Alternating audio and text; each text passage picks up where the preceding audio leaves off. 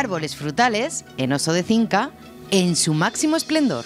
Nectarinas, ese producto tan típico de la comarca del Bajo Cinca y que ahora mismo Oscar se encuentra en plena recolección. Sí, ahora ya estamos con la campaña de nectarinas adelantada, ya en el último mes, y este probablemente es el fruto más plantado en el Bajo Cinca, un fruto que va principalmente a la exportación, también mercados españoles, pero es un gran fruto, un gran exportador.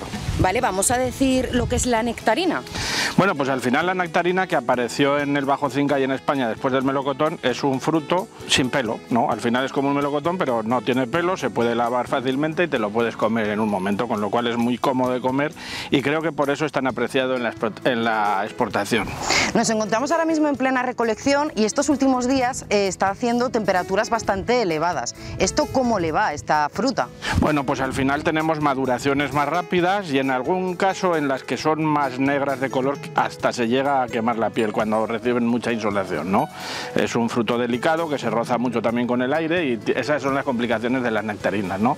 Pero sigue siendo el más plantado en el Bajo Cinca y el que más va a la exportación. Ahora mismo tenemos un poquito de viento. Esto...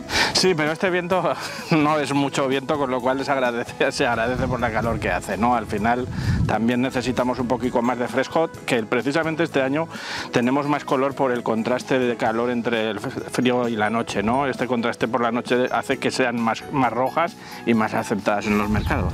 Vamos a ponernos en el supuesto de que estos próximos días hubiera una tormenta, una tormenta en la que lloviera con mucha intensidad. ¿Cómo le afectaría al fruto? Bueno, pues habría que pasar, sobre todo en este tiempo, porque las podredumbres a partir del mes de agosto son más delicadas, habría que pasar enseguida a tratarlas con un fungicida, algún producto para la mosca, que este año está haciendo mucho daño, y esperar unos días a recolectarla. Y en el caso de que fuera piedra, pues todavía tratar más y llamar a lo seguro.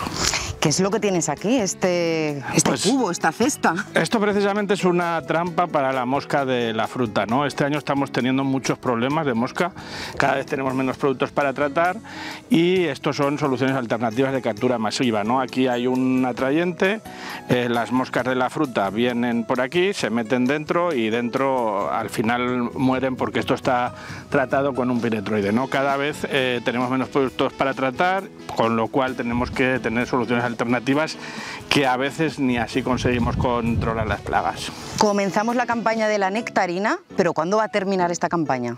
Bueno, las últimas nectarinas aquí en el Bajo Cinca se cogerán yo creo que sobre el 10 de septiembre o por ahí.